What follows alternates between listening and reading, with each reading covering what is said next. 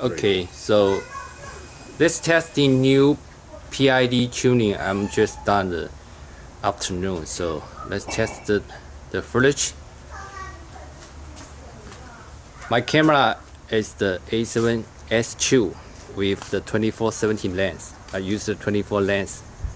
So I got two camera here too. One camera is mount on the EC1 and the other camera is just handheld to show you two different camera the footage.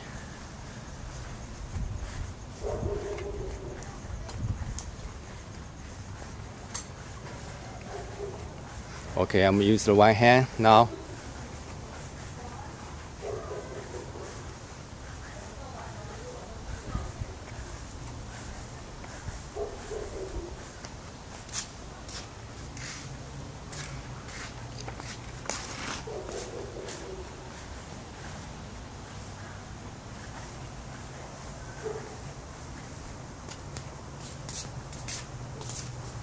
Alright, finish and then post the video.